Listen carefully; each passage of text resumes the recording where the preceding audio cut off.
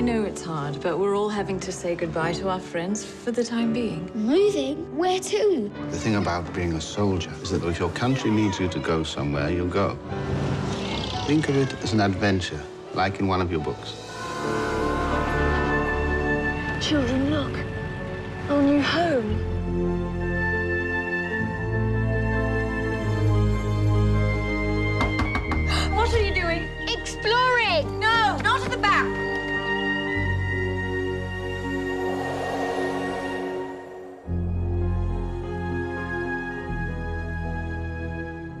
Hello. How old are you? Eight. Me too. Why do you wear pajamas all day? The soldiers, they took all our clothes away. My dad's a soldier, but not the sort that takes people's clothes away. That one there, two there. This one. No, that one. Here. No. It's a work camp. They're in there because they're the enemy. The enemy. All you need to know about my work here, Bruno, is that it's very important to our country.